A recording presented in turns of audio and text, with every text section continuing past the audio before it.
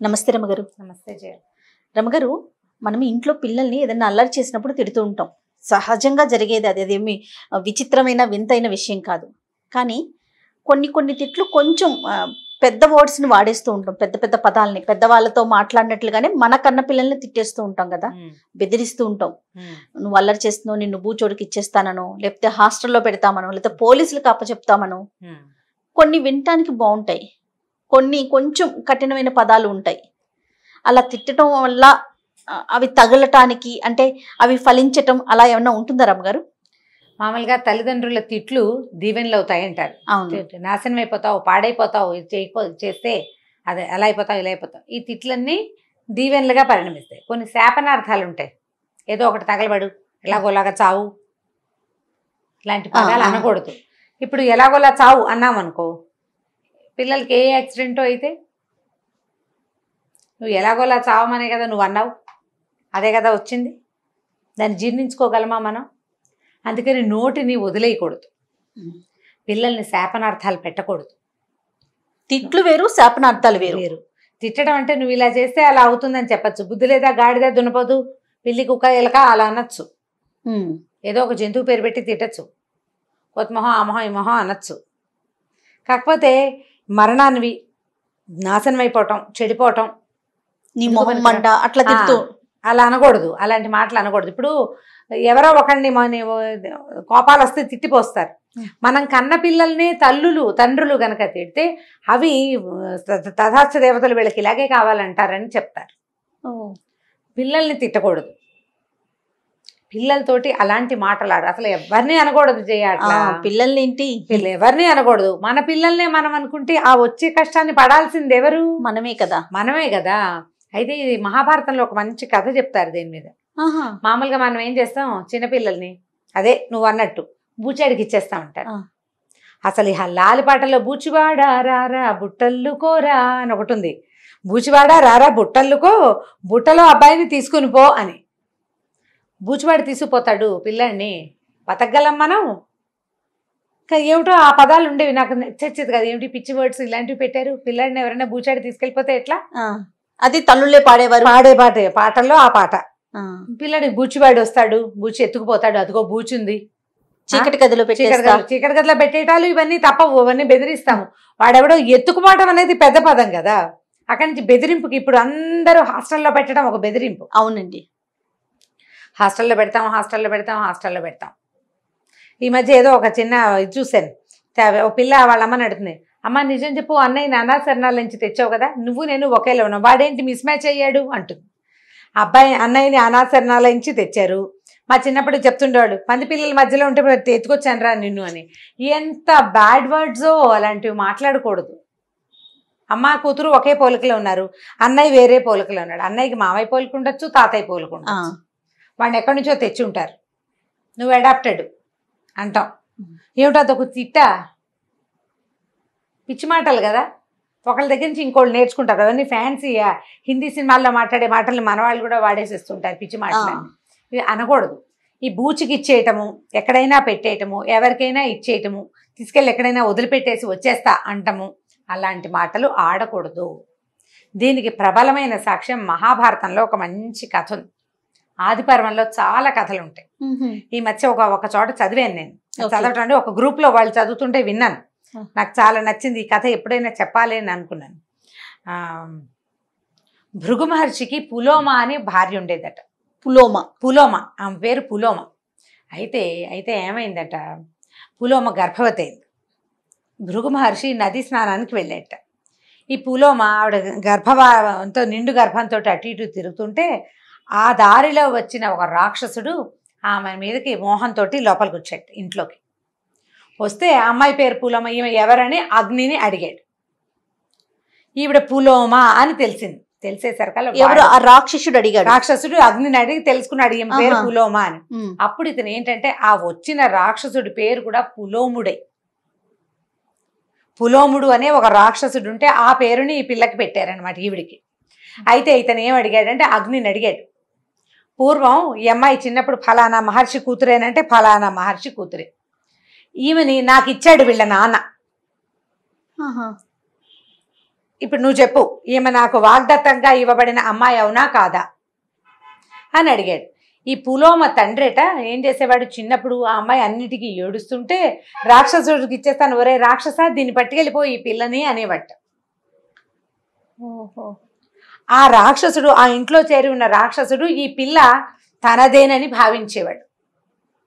తర్వాత కొంతకాలానికి ఆయన భృగు మహర్షికి అగ్నిసాక్షిగా కన్యాదానం చేశాడు ఆ పిల్లని. ఆ కన్య ఇక్కడికి వచ్చింది భృగు మహర్షి ఆశ్రమంలో ఉంది ఆయన భార్యగా ఉంది చివరికి ఆవిడ గర్భవతి అయింది ఇప్పుడు అగ్నిని అడుగుతున్నాడు పులోముడు అనే రాక్షసుడు. వీళ్ళ నాన్న నాకు వాగ్దానం చేశాడు ఈ పిల్లని పట్టుకుపో అని చెప్పాడు. అంటే నాకు ఇచ్చాడనమాట. నాకు మాట ఇచ్చి నాకు మాట ఇచ్చి ఇంకోళ్ళకి ఇచ్చి ఎలా పెళ్ళి చేస్తాడు? భృగువు నా పెళ్ళాన్ని పెళ్ళి చేసుకున్నాడు. అన్యాయంగా. నువ్వు నిజం చెప్పు అని అగ్నిని అడిగాడు. నువ్వు దేవతల ముఖంలో ఉంటావు. నువ్వేం చేస్తాడు? అగ్ని దేవతలకి అగ్ని అగ్నిలో వేసిన హవిస్సుని దేవతలకు అందజేస్తావు. నువ్వే అన్నిటికీ సాక్షివి సర్వసాక్షివి. నువ్వు నిజం చెప్పు. ఈ అమ్మాయి నాకు ఇవ్వబడిన అమ్మాయేనా కాదా? అని అగ్నిని అడిగాడు. అగ్ని అన్నాడు ఈ పులోమ ఆ పులోమయే. కానీ పులోమ తండ్రి అగ్నిని సాక్షిగా ఉంచుకుని భృగు మహర్షికి కన్యాదానం చేశాడు. భృగువు తన కన్యాదానాన్ని స్వీకరించాడు. తను నీ భార్యను కాదు తెచ్చుకుంది. ఆ ఋషి కూతురుని తెచ్చుకున్నాడు. అనేసరికల్లా ఈ పులోముడు ఏం చేశాడు? అంటే ఈ అమ్మాయి ఆ అమ్మాయే. వీళ్ళ నాన్న ముందు నాకే మాటిచ్చాడు. నాకు మాటిచ్చిన అమ్మాయికి పెళ్ళి చేసుకోవటం ఇటువాడు ఇంకోటి ఎవడో నువ్వు భృగుమహర్షి మహర్షి అయితే అవ్వచ్చు కాక. అని చెప్పి ఈ గర్భావస్థలో ఉన్న ఈ అమ్మాయిని లాక్కెళ్ళిపోయాడు ఎత్తుకెళ్ళిపోయాడు. ఎత్తుకుని వెళ్ళిపోయాడు. ఎత్తుకెళ్ళిపోయేసరికి అలా గర్భస్థ శిశువు విపరీతమైన తేజంతో ఉన్నాడు. ఈ భృగు అంటే భృగు మహర్షి బ్రహ్మ వంశంలో పుట్టినవాడు. బ్రహ్మ నుంచి పుట్టిన మహర్షి ఆయన. ఆ లోపల ఉన్న గర్భస్థ శిశువు అమిత తేజంతో తన తల్లిని ఎవరో తీసుకెళ్తున్నారని ఆ పులోముడు వరాహ రూపంలో ఈ అమ్మాయిని తీసుకెళ్ళిపోయాడు ఈవిని ఈ పులోమని. ఈ గర్భం నుంచి జారి పడిపోయాడట బయటికి శిశువు. ఆ చ్యుతి చెందాడు అంటే జారాడు కాబట్టి చవనుడు అని పేరు వచ్చింది ఆయనకి మనం ఇదివరకు సుకన్య కథలో ఒక చవనుడు ఆ. చవన మహర్షి ఈయనే. ఆ బయటికి పడిన ఆ పిల్లాడు అగ్నిలాగా వెలిగిపోతున్నట్టు అతని చూపు పడేసరికల్లా ఈ వరాహ రూపంలో ఉన్న రాక్షసుడు మాడి బూడిదైపోయాడు ఆ రాక్షసుడు చేతిలో నుంచి బయటపడిపోయిన పులోమ ఈ పిల్లాడిని ఎత్తుకుని ఏడుస్తూ బ్రహ్మ దగ్గరికి వెళ్ళింది. నేను నీ కోడల్ని ఇక్కడ గర్భావస్థలో ఉంటే వాడెవడో ఎత్తుకుపోయాడు నన్ను అని ఆవిడ ఏడుస్తుంటే ఆవిడ కళ్ళల్లో నుంచి కారిన నీళ్ళు అలా నదిలాగా ప్రవహిస్తూ ఉన్నాయి ఆవిడ వెనకాల. బ్రహ్మ దగ్గరికి వెళ్ళింది. నాకు ఇంత అన్యాయం జరిగింది ఇట్లా జరిగిందని చెప్పడానికి. అక్కడికి వచ్చిన భృగువు ఆయన కూడా వచ్చేసాడు అక్కడికి. భార్యని ఓదార్చాడు. ఈ వెనకాల కారిన కంటి నీటిని అదొక నదిగా మారిందిట. ఆ కంటి నీటి ప్రవాహం. బ్రహ్మదేవుడు దాన్ని వధూసరా అని పేరు పెట్టాడు ఆ నదీ ప్రవాహానికి. వధువు అంటే కోడలు. కోడలి కంటి నుంచి స్రవించిన నీరు. వధూసర అనే నది పేరుతో ఆ పేరుతోటి ఆ నది భృగు మహర్షి ఆశ్రమం దగ్గరే ప్రవహించేది. అప్పుడు భృగు మండిపడిపోయాడు. అసలు నువ్వు వాడికి వాగ్దత్తవని సాక్ష్యం చెప్పింది ఎవరు? నువ్వు ఫలానా అని వాడికి ఎవరు చెప్పారు? వాడు ఎట్లా తీసుకెళ్ళాడంటే ఆవిడ ఏడుస్తూ ఏం చెప్పిందంటే అగ్ని చెప్పాడు. నేను ఫలానా మహర్షి కూతుర్నని చిన్నప్పుడు నీకు వాగ్దానం చేయబడిన పులోమని నేనేనని చెప్పాడు. ఈ లోపల అతవాడు నన్ను ఎత్తుకుపోయాడు. నీ గర్భస్థ శిశువు ఈ నీ కుమారుడు తన తాలూకు ప్రభావంతో ఆ రాక్షసుని చంపి నాకు విముక్తి కల్పించాడు అని ఆవిడ ఏడ్చింది. ఆయన ఏం చేశాడంటే అగ్ని అగ్ని మీద కోపం వచ్చేసింది భృగు మహర్షికి. అగ్ని నేను సర్వభక్షకుడు వైపో నా భార్యని వాడెవడికో వాగ్దత్తాన్ని నువ్వు ఎలా చెప్పావు? గర్భవతిని. అని అగ్నిని శపించాడు. ఎంత కథ నడిచిందో చూడండి. ఈ అగ్నిని శపించేసరికి అగ్ని కోపంతో నేనేం చేశాను? నేను నిజం చెప్పా. అతనికి చెప్పాను ఆ అమ్మాయే కానీ ఆ అమ్మాయి తండ్రి నీకు ఊరికే మాటే ఇచ్చాడు కానీ అగ్ని సాక్షిగా ఇతనికి ఇచ్చి పెళ్ళి చేశాడు. ఆయన ఆ మాట కూడా కేవలంగా చెప్పాడు. అంతేగాని నీకు వాగ్దానం చేసినట్టు కాదు ఈ అమ్మాయికి అగ్ని సాక్షిగా వివాహం అయింది భృగుతో అని నేను చెప్పాను. నువ్వు తర్వాత విషయం వినకుండా నన్ను శపిస్తావా? ఇక నేను ఎక్కడికి రాను? అసలు నేను ఏ దేనికి చేయనని అగ్ని బిగుసుకుపోయేట్టు. అగ్ని లేదు. అగ్ని లేకపోతే ఎట్లా కుదురుతుంది? అప్పుడు బ్రహ్మదేవుడు వీళ్ళిద్దరికీ సయోధ్య కుదిర్చి సర్వభక్షకుడు అంటే అన్నీ కాదు నీలో పడిందే నువ్వు భక్షించే భక్షిస్తాడని ఆయన శాపావసానం తెలియజేశారు. ఓహో. మహాభారతంలో ఈ కథ చెప్తూ పిల్లలకి రాక్షసుల పేర్లు పెట్టకూడదు. వాళ్ళకి చేస్తాం వీళ్ళకి చేస్తామని నోటి మాటలుగా అనకూడదు. అన్నవి శాపాలుగా పరిణమిస్తాయి. ఈవిడ గర్భావస్థలో ఒక రాక్షసుడు ఆవిడని లాక్కుపోయే పరిస్థితి ఎందుకు వచ్చింది ఆవిడకి. వాళ్ళ నాన్నగారు పిల్లలు ఏడిస్తే నువ్వు అనేస్తావా ఏడ్చే పిల్లని ఒక చెంప పెట్టి పెట్టాలి. రెండు బీకితే సరిపోతుంది. కావాల్సిన విప్పతో ఒక గంట ఏడ్చి వాళ్ళే ఊరుకుంటారు. వాడికి ఇచ్చేస్తా వీడికి ఇచ్చేస్తా అంటే వాడు కావాలంటే నువ్వేం చేస్తావు. కాబట్టి ఎప్పుడు పిల్లలతోటి ఇలా మాట్లాడకూడదు అని చెప్పే కథ ఈ ఈ కథ అనమాట మహాభారతంలో క్లియర్గా రాస్తారు కింద. రాక్షసుల పేర్లు పెట్టకూడదు. ఇప్పుడు చూడండి మనం ఎంతో పేర్లు పెట్టుకుంటామా? ఎవరికైనా రావణ్ కుంభకర్ణ్ అలాంటివి పెడతారా పేర్లు? పెట్టామండి. పెట్టరు. దుశ్శాసన్ అలాంటి దుశ్శాసనుడి పేరు కూడా పెట్టరు. పెట్టరు. దుర్మార్గులైన వాళ్ళుగా ప్రూవ్ అయిన వాళ్ళు ఎవరు ఆ పేర్లు కానీ క్యారెక్టర్స్ని మనం పెట్టనే. చేయలేం. పెట్టనే పెట్టరు. ఎవరు పెట్టరు కదా? ఏ రాక్షసుడి పేరు పెట్టుకో. ఎందుకంటే ఆ రకమైన దుష్ప్రవృత్తి వస్తుందేమో అని మన మంచి పేర్లు పెట్టినా దుష్ప్రవర్తన ఎలాగో వస్తుంది. పేరు కూడా వీడిది అదే నన్నిస్తారు. అందుకని రాక్షసుల పేర్లు సాధారణంగా ఎవ్వరు పెట్టుకోరు. అసలు పెట్టుకోకూడదన్నది నియమం కూడా అన్నమాట. కాబట్టి పిల్లల్ని తిట్టేటప్పుడు కొంచెం అదుపులో నోరు ఉంచుకుని తిట్టాలి. నోరు విసిరేయకూడదు. మంచి పద్ధతి కాదు. ఎందుకంటే ప్రతి మాటకి ఒక శక్తి ఉంటుంది. అప్పుడప్పుడు అది ప్రూవ్ అయిపోతుంది. ఆ శక్తి బయటకు వచ్చేస్తుంది. అందుకని శపించినట్టుగా నువ్వు నాశనం అయిపోతావు నువ్వు అలా అయిపోతావు ఇలా అయిపోతావు. అలా అనద్దు. అనకూడదు. చెప్పాలి. నీకు అర్థమయ్యేలాగా. వినడా వాడి కర్మానికి మనం కర్తలం కామని వదిలిపెట్టేసేయాలి. అంతే తప్ప? చేయగలిగేది ఏం లేదు. ఇప్పుడు మన మాట వినకపోయినా మన పిల్లాడికి దెబ్బ తగిలితే మనకు ఓకేనా? నా మాట వినలేదు వీడికి శాస్తి అయింది అనగలవా నువ్వు? అనగలమా? మన పిల్లల్ని మనం అనుకోగలమా?